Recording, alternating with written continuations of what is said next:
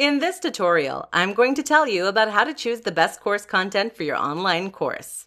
Let's begin. Choosing the best course content for your online course is highly important to the success of the course. If the course content is not in high demand or you are not passionate about it, your course will be boring and fail to attract customers. There are three ways to ensure that your course content is a hit for both you and your customers. 1. Pick a topic that you are passionate about. The first step to choosing the best course content is to select a topic that you're passionate about. If you're not passionate about the topic, you should not expect your viewers to be either. The reason for this is that your lack of passion will translate to the videos, and viewers will find it boring and not engaging enough for their money or time. If you select a topic you're passionate about, your viewers will feel more enthusiasm and working on your course will not feel like a chore. You can begin to decide on your course content by asking yourself some of the following questions What do I love doing? What makes me excited? What do I love telling other people about? What do I wish more people knew or cared about?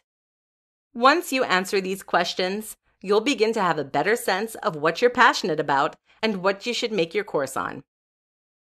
The second step to choosing the best course content is to select a topic that you are also knowledgeable about. Although you do not need to be a professor or have the most extensive knowledge on the topic, you must be able to talk about it in an informative and educated way. If not, you'll get a bad reputation and few people will want to join your online course. After you narrow down the topics you're passionate about, begin evaluating your knowledge on these topics. You can evaluate your knowledge by asking yourself the following questions What topic do I have the most experience in? Do I have any degrees in the topics I'm interested in? What topics have I been practicing or working on the longest?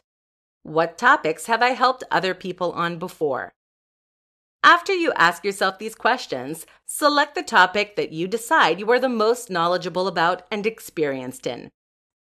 Finally, the third step to choosing the best course content is to select a topic that is in high demand. Selecting a topic that is in high demand ensures that enough people will be interested in your topic.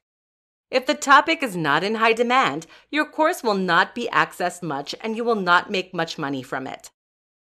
Here are some questions you can ask yourself to discern if your topic is in high demand.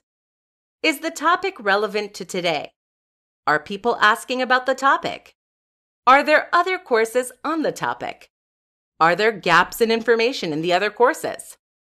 If you answered yes to these questions, then the topic is probably in high demand.